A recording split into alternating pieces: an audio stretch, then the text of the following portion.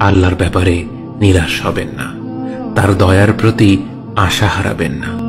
যখন কোনো বান্দার জন্য দুনিয়া সংকীর্ণ হয়ে আসে, বিশেষ করে যখন আপনাকে মানুষ পরিত্যাগ করে এবং বিশেষ করে এমন কেউ যার উপর আপনি আস্থা রাখতেন, কিন্তু সে আপনাকে নিরাশ করেছে, আপনি আল্লাহর পরে তার উপরে আশা রাখতেন, অথচ সে আপনাকে লাঞ্ছিত করেছে। সেই সময় জেনে রাখবেন যে আল্লাহ চাচ্ছেন আপনি তার শরণাপন্ন হন। এই পৃথিবীর সবচেয়ে সুখী মানুষ হচ্ছে সে যে আল্লাহর দিকে তার মুখ ফেরায়। এই পৃথিবীর সবচেয়ে সুখী মানুষ সে যে আল্লাহর কাছে তার হৃদয় সমর্পণ করে।